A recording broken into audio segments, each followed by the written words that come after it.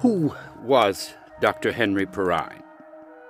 How can it be that the tropical plants he introduced to South Florida from Mexico in the 1830s have flourished, yet we know little of the man himself? Dr. Perrine made his place in history while he was in Florida um, before his untimely demise in, uh, on Indian Key in, um, in 1840.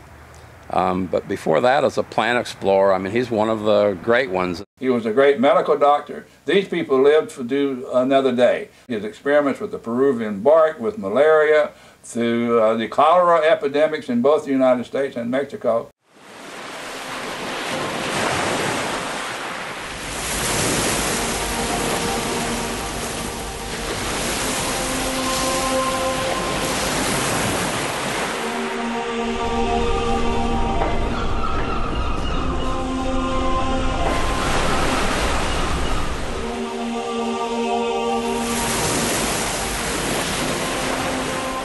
Dr. Perrine had been friendly with the Indians. He had helped them several times and cured them of some of the things that they had wrong.